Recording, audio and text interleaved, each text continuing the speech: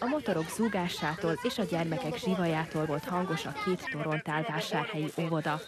Mivel a gyerekek nagy örömére megérkeztek az ajándékozók, a gyerekek miért meghallják a hangokat, a motorzúgást, akkor már oda rohannak az ablakhoz, és akkor már sikoltozással várják, akkor már ez nem lehet őket lesállítani, akkor már rohannak és várják őket, várják őket ide, egész az ajtóig ide jönnek.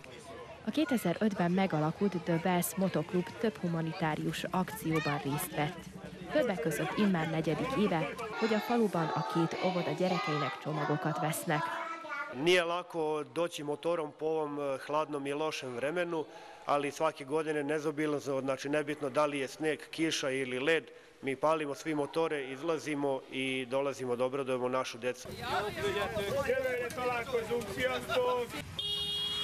A motorosok a gyerekeknek megígérték, hogy jövőre is jönnek, és a sok csomag mellett havat is hoznak.